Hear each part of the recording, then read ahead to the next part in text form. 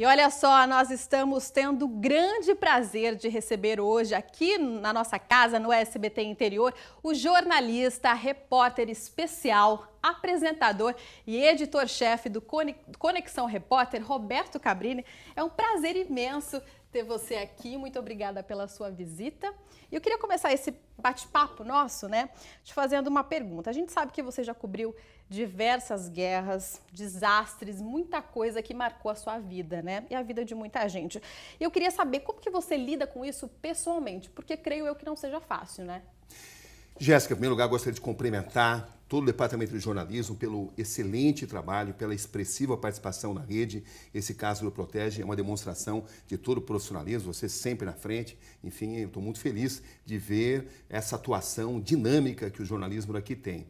Olha, uh, Jéssica, eu diria o seguinte: o medo faz parte, o medo é uma indicação dos seus limites eu percebi que o medo não me paralisa. O medo se torna um grande problema para o profissional quando ele te paralisa, quando ele te impede de raciocinar. Eu, com adrenalina, eu penso melhor, fico até com ações mais equilibradas, mais sábias, uh, e ele é até bem-vindo a partir do momento em que eu não transformo o medo em algo que vai me engessar. Eu já vi profissionais em grandes coberturas ficando sem saber o que fazer, totalmente dominado pela parte psicológica é uma coisa evolutiva. A cada cobertura, a cada dificuldade, você vai crescendo. Não é algo que você já está pronto na primeira cobertura. Minha primeira cobertura de guerra, eu ficava assim muito preocupado, muito desesperado. Com o tempo, com a experiência, você vai percebendo as situações eh, de maior risco, eh, se o disparo, se a explosão aconteceu perto de você ou se aconteceu longe, você vai a desenvolvendo também anticorpos para as atrocidades que você assiste.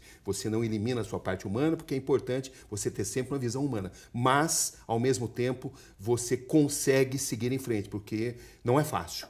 É, mas, como disse para você, o medo, se bem utilizado, é bem-vindo.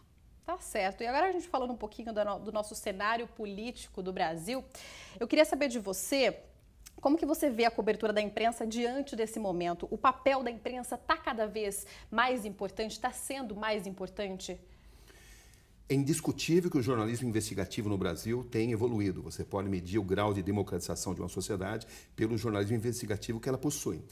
Há nesse instante uma epidemia muito grave e nós temos que apontá-la. A partidarização do jornalismo. Aquele jornalista compromissado com determinados segmentos, que podem ser econômicos ou políticos, compromissado com partidos. Isso tem que ser combatido. Eu acho que é uma onda que vai passar, porque nós estamos num momento é, de intransigência de opiniões. Você vê pessoas que têm opiniões políticas e que quase se degladiam por causa dessas opiniões, quando a democracia prevê o respeito das ideias divergentes.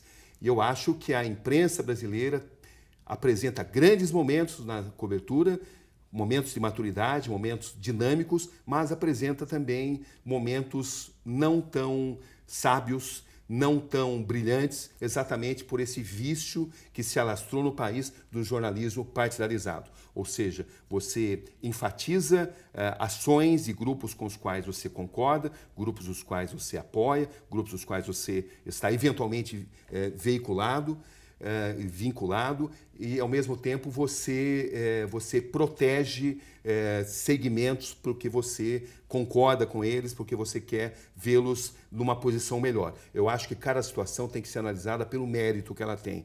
E essa é a essência do jornalismo a busca constante da imparcialidade. Eu costumo dizer que imparcialidade total não existe porque nós temos determinados valores mas é a busca dessa imparcialidade que torna a nossa atividade nobre Uhum.